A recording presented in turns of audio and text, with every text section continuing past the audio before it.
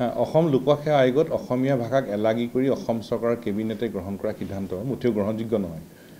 আৰু যি সময়ত ইউ পি এছ চিত অসমীয়া ভাষাক মৰ্যাদা দিয়া হৈছে সেই সময়ত অসমতেই অসম লোকসেৱা আয়োগত অসমীয়া ভাষাক এলাগী কৰা কাৰ্যটো কেতিয়াও গ্ৰহণযোগ্য হ'বই নোৱাৰে। আৰু অসমীয়া ভাষাক অপমান কৰি অসম চৰকাৰে এই সিদ্ধান্ত লৈছে। এই অসমীয়া ভাষাৰ প্ৰতি অসম চৰকাৰৰ চূড়ান্ত অপমান আৰু অসম চৰকাৰে এই সিদ্ধান্ত শীঘ্ৰে প্ৰত্যাহাৰ কৰক। জনজাতীয় যি ভাষা যে কৈ আছে তেওঁলোকে জনজাতীয় ভাষাসকললৈ ক'ব পাৰিলেও সেইটো কৈছে ভাইভাগ লৈ। প্ৰথম কথা যে অসম চৰকাৰে কেবিনেটত এটা সিদ্ধান্ত লৈছে অসমীয়া ভাষাক এলাগী কৰি। অসম লোকসেৱা আয়োগৰ পৰীক্ষা পদ্ধতি বেলেগ আছিল। অসম লোকসেৱা আয়োগে ক'লে যে পৰীক্ষা ব্যৱস্থা সংস্কাৰ হ'ব। সংস্কাৰ কৰি পেলাই প্ৰিলিমছ হৈ গ'ল। বহুত ছাত্ৰ ছাত্ৰীয়ে প্ৰিলিমছ দিলে। এতিয়া মেইনছৰ কাৰণে প্ৰস্তুতি কৰি আছে। তাত কিছুমান ব্যৱস্থা কৰা হৈছে অসমীয়া ভাষাক মৰ্যাদা দিয়া হৈছে। আৰু আন আন জনজাতীয় ভাষাৰ জনগোষ্ঠীয় ভাষাৰ প্ৰতিও মৰ্যাদা দিয়া হৈছে। আৰু পাৰ্বত্য জিলাত অসুবিধাৰ সন্মুখীন হোৱা ছাত্ৰ ছাত্ৰীসকলকো উপায় দিয়া হৈছে।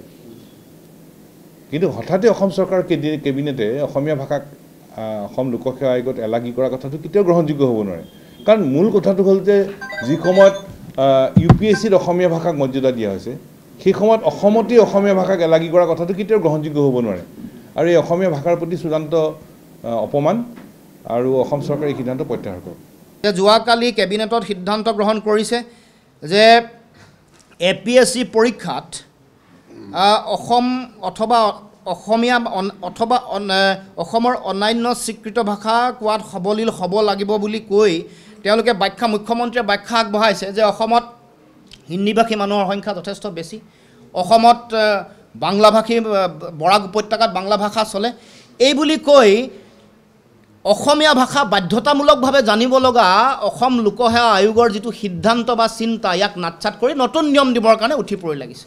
যি সময়ত এটা সময়ত চৰকাৰে অসমৰ বিদ্যালয়সমূহত কেন্দ্ৰীয় বৰ্ডৰ বিদ্যালয় আৰু সকলোতে অসমীয়া ভাষা বাধ্যতামূলক কৰিম বুলি এখন চৰকাৰে কৈছিল তাৰ বিপৰীতে অসম প্ৰশাসনিক সেৱাৰ পৰীক্ষাৰ পৰা কৌশলপূৰ্ণভাৱে কৌশলপূৰ্ণভাৱে তেওঁলোকে অসমীয়া ভাষাক একাষৰীয়া কৰিবৰ কাৰণে বা বাহিৰৰ পৰা প্ৰাৰ্থী আহি ইয়াত অসমৰ পৰীক্ষা দিয়াৰ যিটো ব্যৱস্থা এই এই সুযোগ দিবৰ কাৰণে তেওঁলোকে উঠি পৰি লাগিছে।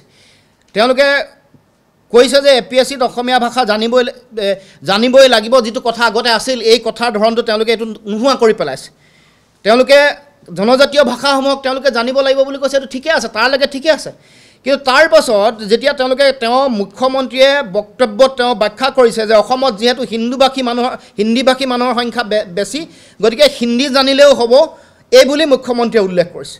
তাৰ উপৰিও গতিকে বাংলা বাঙালী ভাষা জানিলেও হ'ব এই কথাটো তাৰমানে অসমীয়া ভাষাৰ যিটো গুৰুত্ব অসমীয়া ভাষা বাধ্যতামূলকভাৱে জানিব লাগিব। এই কথা নাইকিয়া কৰিবৰ কাৰণে উঠি পৰি লাগিছে এইটো এটা আত্মঘাতী সিদ্ধান্ত তেওঁলোকে গ্ৰহণ কৰিছে। যি সময়ত আমি প্ৰশ্ন কৰিব খুজিছোঁ যি সময়ত পশ্চিমবংগ বিহাৰ উত্তৰ প্ৰদেশত অসমৰ প্ৰাৰ্থীয়ে তাত অসমীয়া ভাষাৰ যোগেদি অসমীয়া তাৰ স্থানীয় ভাষা নাজানিলে আন ভাষাত তেওঁলোকে পৰীক্ষা দি তেওঁলোকে জানো তেওঁলোকৰ ৰাজ্যিক বৰ্ডৰ তেওঁলোকৰ প্ৰশাসনিক সেৱা তেওঁলোকৰ লোকসেৱা আয়োগৰ পৰীক্ষাত তেওঁলোকে অৱতীৰ্ণ হ'ব পাৰিব জানো? গতিকে এই যিটো সিদ্ধান্ত এই সিদ্ধান্ত কোনো কাৰণতে কেতিয়াও গ্ৰহণীয় নহয় আৰু এই সিদ্ধান্ত বাতিল কৰিবৰ কাৰণে অসম জাতীয় পৰিষদে আমি দাবী উত্থাপন কৰিছোঁ। অসমত অসমীয়া ভাষা জানিবই লাগিব অসমীয়া ভাষা বাধ্যতামূলকভাৱে জনাৰ যিটো ব্যৱস্থা সেই ব্যৱস্থা বাহাল থাকিব লাগিব। এইটো অসম জাতীয় পৰিষদৰ দাবী। অসম সাহিত্য সভাৰ স্থিতি এই সম্পৰ্কত অতি স্পষ্ট। আচলতে আমি যোৱা বছৰো আমাৰ সাহিত্য সভাৰ আমি দলদাতাই গৈ মাননীয় মুখ্যমন্ত্ৰী মহোদয়ক কৈছিলোঁ লগতে আমাৰ এ পি এছ চিৰ অধ্যক্ষকো আমাৰ সজাতি দল গৈ লগ পাইছিলে যাতে অসমীয়া ভাষা বাধ্যতামূলকভাৱে লোৱা হয় এ পি এছ চিৰ পৰীক্ষা দি এই কথাবিলাক ইমান সুন্দৰকৈ আগবঢ়াৰ পাছত এইখিনি সিদ্ধান্ত দেখি আমি সঁচাই আশ্চৰ্য প্ৰকাশ কৰিছোঁ এইকাৰণে যে ভাৰতৰ বিভিন্ন ৰাজ্যত নিজৰ নিজৰ ভাষা ৰাজ্য ভাষা হিচাপে যিবিলাক ভাষা আছে সেইবিলাকক বাধ্যতামূলকভাৱে প্ৰতিযোগিতামূলক পৰীক্ষাত তেওঁলোকে ৰাখিছে। লগতে আনকি এই ইউ পি এছ চিৰ পৰীক্ষাটো অসমীয়াও এটা ভাষা হিচাপে ৰখা হৈছে। এনেকুৱা সময়ত অসমৰ অসমীয়া ভাষা পূৰ্বৰ স্থিতিৰ পৰা অঁতাই দিব খোজাটো আমি এক হঠকাৰী সিদ্ধান্ত বুলি লৈছোঁ।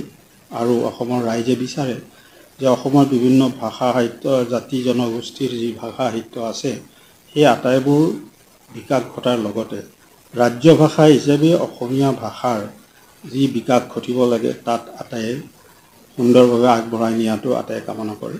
গতিকে আমি ভাবোঁ যে সংযোগী ভাষা হিচাপেও অসমীয়া ভাষাক দাঙি ধৰিব লাগিব। গতিকে এই গোটেইবিলাক দিশ আলোচনা কৰি আমি কি কাৰণে এনেকুৱা এটা সিদ্ধান্ত লোৱা হ'ল অন্ততঃ আমি সংবাদ পত্ৰত পোৱা মতে এনেকুৱা সিদ্ধান্ত আমি অসম সাহিত্য আহ, হঠকাৰী বুলি লৈছোঁ। বিভিন্নজনৰ বিভিন্ন ধৰণৰ মন্তব্য এই ক্ষেত্ৰত আছে। মোৰ দৃষ্টিভংগীত কিন্তু আমাৰ মাতৃভাষাটো বাদ দিয়াটো মই সঠিক বুলি ভবা নাই।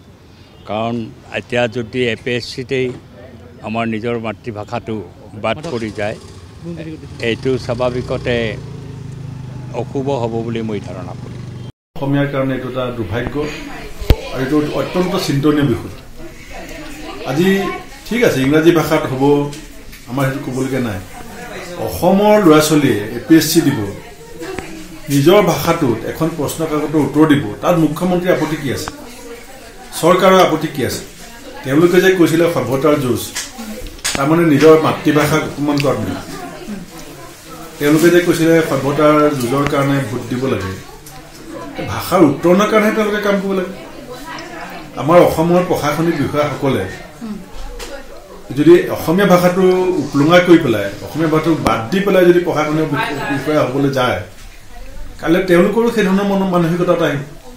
মই ভাবোঁ যে আমাৰ অসমৰ সকলো জাতীয় সংগঠন সাহিত্য সভা হওক বিভিন্ন সংগঠন আমি সকলোৱে এই কথাটো গুৰুত্ব সহকাৰে ল'ব লাগে। আৰু চৰকাৰৰ এই সিদ্ধান্ত জাতি বিৰোধী সিদ্ধান্তক আমি কেতিয়াও মানি ল'ব নালাগে আমি মানি নলওঁ।